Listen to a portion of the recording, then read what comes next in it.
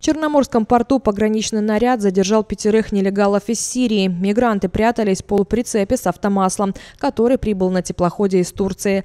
Пограничники услышали подозрительные звуки внутри прицепа и установили за ним наблюдение. Під час здійснення прикордонного контролю охоронці кордону почули сторонні звуки, що доносились з напівпричепа. У зв'язку з чим було вирішено вести постійне візуа- візуальне спостереження за ним. З настанням сутінок нелегальні мігранти зіцілили на дріз тенту напівпричепу та намагалися покинути територію пункту пропуску. Пограничники оперативно задержали беглецов, у которых не оказалось никаких документов.